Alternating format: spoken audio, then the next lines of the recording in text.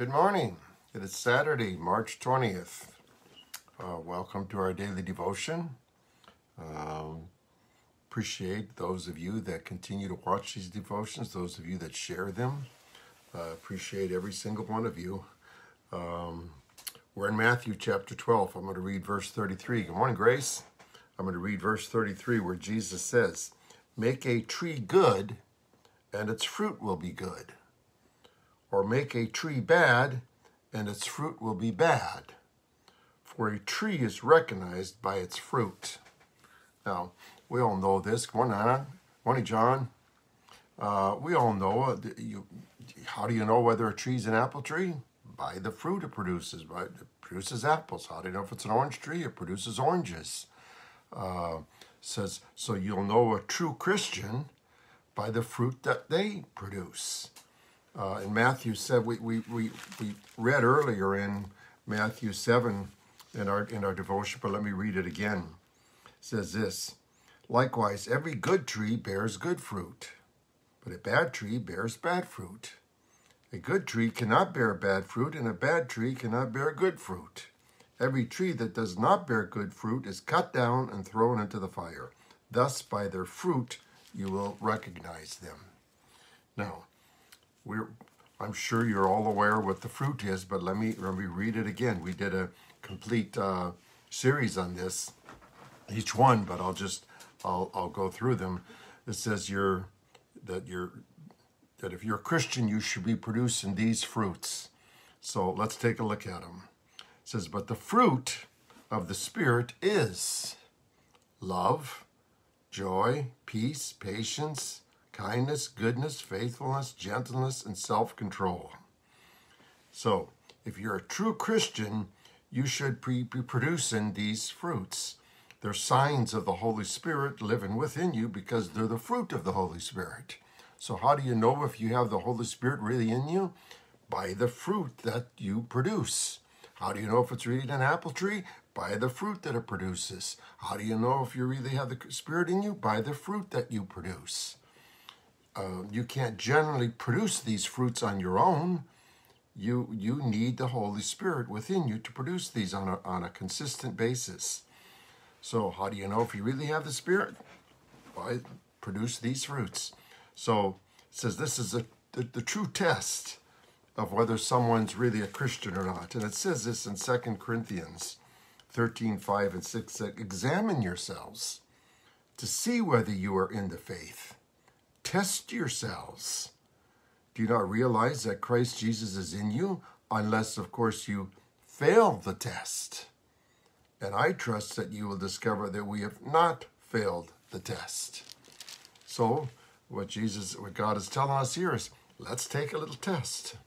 Let's take a test here. Morning, Marcy. Let's take a test to find out. Now, I, I'm convinced that every one of you, I see your names watching this, but we never know who else is watching these videos to to but it's good for all of us at some point to to take this a self-evaluation of of our lives to see whether we're producing this fruit of the Holy Spirit that we should be producing as Christians. The first one is love. You all know that word. I've taught you so many times. That, that word means agape. Agape is literally given, expecting nothing in return. It's an unconditional love. It's it's like okay, I'll give to you, but you need to do this. It's just no, you just you just choose to give unconditionally, irregardless. Uh, agape is the ability to love even the, your enemies, even to love those that hurt you. Can someone without the Holy Spirit do that? Think of that. Can someone without the Holy Spirit actually love give unconditionally, give expecting nothing in return to someone that hurt them. Someone hurt them to their enemies, to those that consider them their enemy. You could only, there's only you can do it with, with through the Holy Spirit within you. So that's a sign, that's a fruit of the Holy Spirit. If you're able to do that, it shows that the Holy Spirit is within you. And then there's joy. Uh, if you if you have truly have the Holy Spirit, you should have joy in your life. How much joy do you have in your life? Peace. You should have peace in your life. You should constantly have peace. No matter what happens in your life, you should find peace with it. Doesn't mean you have it instantly. You all heard of my video that I went through here this past week on Tuesday, where where I just felt like, whoa, got hit by a by a bomb. But God still gave me peace through all of that. Still an incredible peace. You can't have that just on your own. That only comes from the Holy Spirit within you. Patience, to be able to, to, to have patience, to be able to wait on the Lord, to have kindness, to be kind to people, goodness, to be good to people, faithfulness, to be faithful to people. Uh, some of you I look at here have been, Anna, you were married to Al for, for a long, long time. John, you were married to your wife for a long, long time. Uh, that's faithfulness, gentleness, and then self control.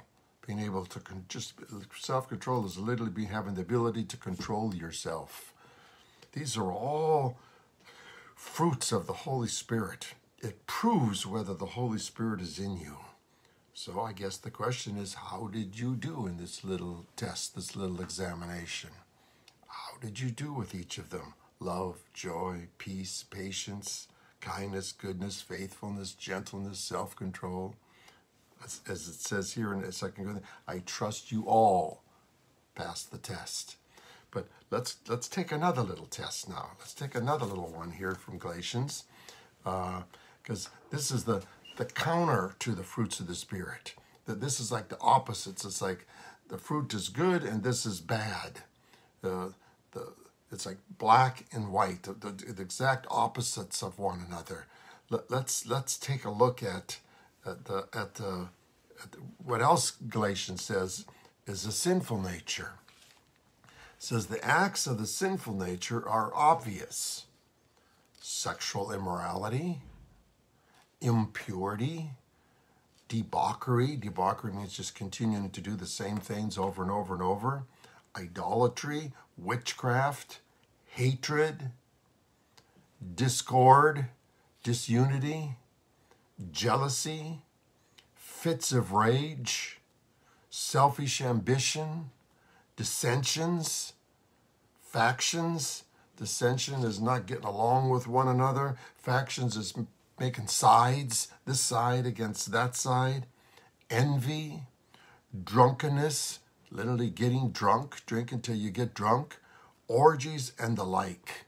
It says, I warn you as I did before that those who live like this will not inherit the kingdom of God. Now, again, we have to be careful. There's those who live like this, those who repeatedly do these things. Not whether you ever got drunk one time and now you feel like you're condemned. It's those who repeatedly do these things, those who live like this, will not inherit the kingdom of heaven.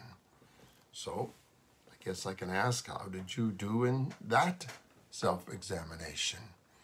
We as Christians, we as Christians should, should hardly ever, hardly ever hardly ever show the, the, the fruit of our sinful nature.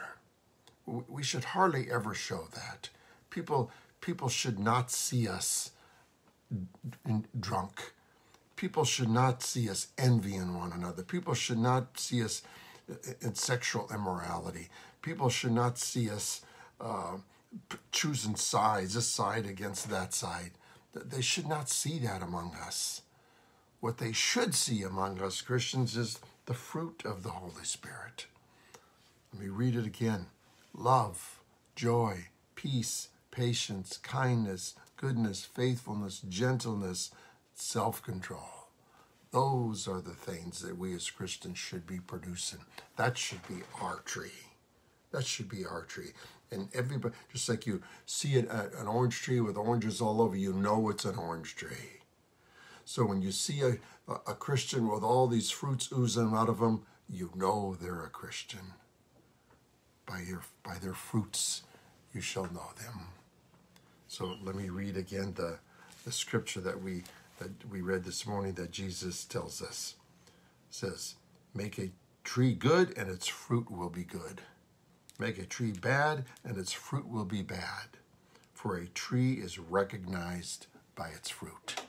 I hope they recognize you as a Christian by the fruit you produce. Amen. Hey, thanks for joining. Have a great day. Have a great weekend. Uh, for those of you committed to this, uh, many, most of you are. I will see you next Monday at uh, at eight o'clock. Uh, tomorrow, of course, is our uh, is our Sunday message at ten o'clock, and the children's message at eleven o'clock. I hope to see many of you then. Um, this Sunday also, uh, they're, they're, we're going to meet at the park. At I'll be sharing that tomorrow again. We'll be meeting at the park at two o'clock at Heritage Park on Bloomfield across from Artesia High, or Cerritos High School. Uh, we're going to pray for me and for Collision Church. So hope that some of you can join us there. Uh, God bless you. Have a great day. And if this meant something to you, please share it. See you Monday.